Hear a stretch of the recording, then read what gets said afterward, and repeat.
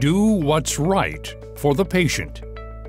That's what we pledge when we graduate from medical school and again when we become fellows of the American College of Surgeons. In fact, it was that very principle that Franklin Martin had in mind when he founded the college. ACS President Courtney Townsend explains.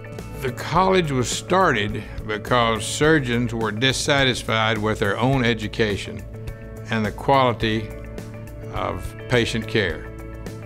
If you passed a test in all 49 states, you could start practicing the next day, and there were no restrictions. Surgeons recognized a need to change this, and they set about to do that, and they have.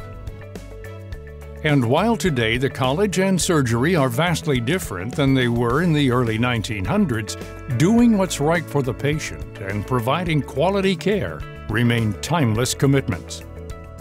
Once standards were established, the whole practice of medicine changed. You didn't operate on patients on the kitchen table anymore.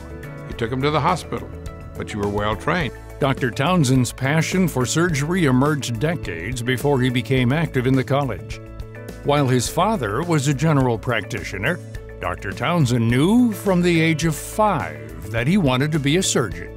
That's what I was always going to do, and my father would bring me old instruments from time to time. I had several teddy bears that I would operate upon and, and sew up with uh, sewing thread.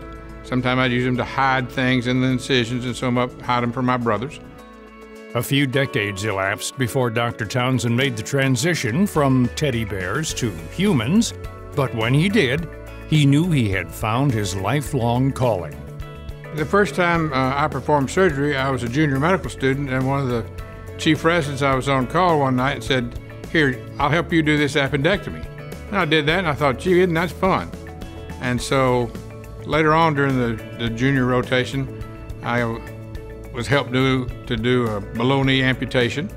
And I thought, this, this really is good. It's what I'm going to do. The great thing about it is that you, you're able to take somebody who's sick and most of the time fix it and return them to health. Dr. Townsend has had a number of mentors over the years, but perhaps the greatest influence over the years, he says, has been his wife, Mary. I am here today because of my wife, Mary, and her support, unconditional love. We got married at the end of my junior year in medical school.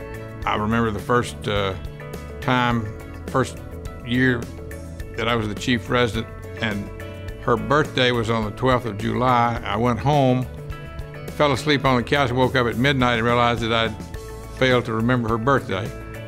Uh, we're still married 48 years later, uh, and I've had great support. And through the years, Dr. Townsend seems to have perfected his ability to sleep, or at least relax, anytime and anywhere, as his daughter Frances and many years later, his grandson Teddy can attest to.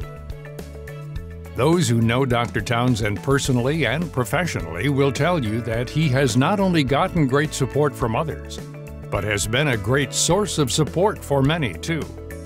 Doing the right thing isn't something that he just talks about, but something that he practices each and every day. For example, Dr. Townsend has long been a supporter of women surgeons and he credits one of his heroes and mentors for that. He is referring to Sally Abston, a general surgeon who ran the acute care unit of the Shriners Burn Institute at Galveston when Dr. Townsend was an intern. Much of it, I'm sure, uh, stems from my association with Sally Abston. I hope every day that I'm like her. There wasn't anything she couldn't or wouldn't do, and it, and it was always about doing what's right for the patient. And there have been barriers to women entering and then and progressing in surgery. Uh, and I've tried to do everything I can to keep that from, to break those barriers down, to remove any kind of impediments for progress of women surgeons. If you are sensing a theme here, you're right. It's about doing the right thing for others. And that is the message that Dr. Townsend imparted yesterday to the 2016 class of American College of Surgeons initiates. It is a responsibility that each and every surgeon must keep sight of. and one that the college will always be committed to helping them uphold. The college provides everything for medical students, residents, young fellows in practice, old fellows in practice, so that they're prepared to do what's right for the patient. What we do every day is do what's right for the patient. That that's our responsibility because of the privilege we have of being what we are.